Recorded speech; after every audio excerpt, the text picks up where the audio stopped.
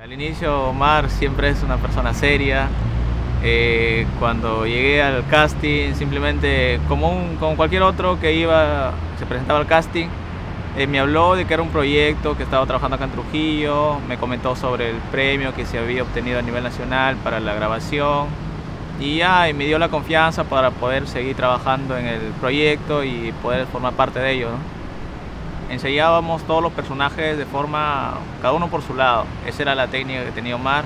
Este, en ningún momento nos dio todo el proyecto, todo el libreto que digamos así en completo. Siempre nos daba por partes para ir metiéndose el personaje, ¿no?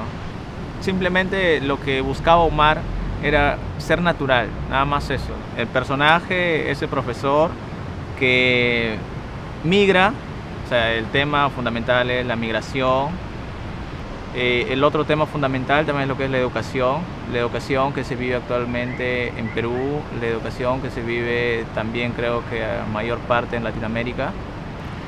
Eh, estudio Derecho, actualmente sigo estudiando la carrera.